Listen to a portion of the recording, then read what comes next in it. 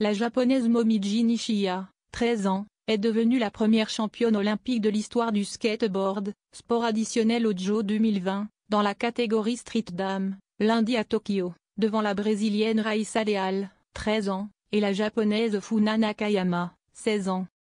Nishiya, médaillée d'argent aux mondiaux 2021 et qui fêtera ses 14 ans le 30 août, n'est pas la plus jeune championne de l'histoire des JO.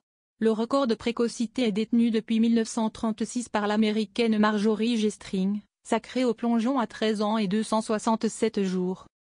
Nishiya, originaire d'Osaka et inspirée par son frère dans sa pratique de ce sport de glisse, a apporté la deuxième médaille d'or en skateboard au Japon en autant d'épreuves.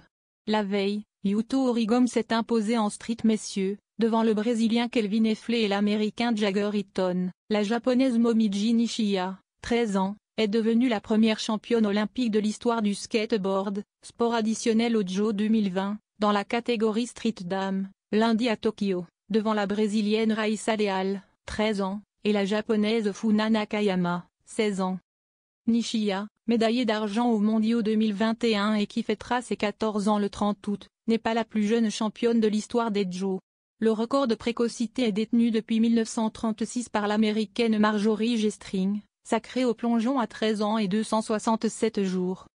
Nishiya, originaire d'Osaka et inspirée par son frère dans sa pratique de ce sport de glisse, a apporté la deuxième médaille d'or en skateboard au Japon en autant d'épreuves. La veille, Yuto Origom s'est imposé en street messieurs, devant le Brésilien Kelvin Effley et l'Américain Jagger Eaton.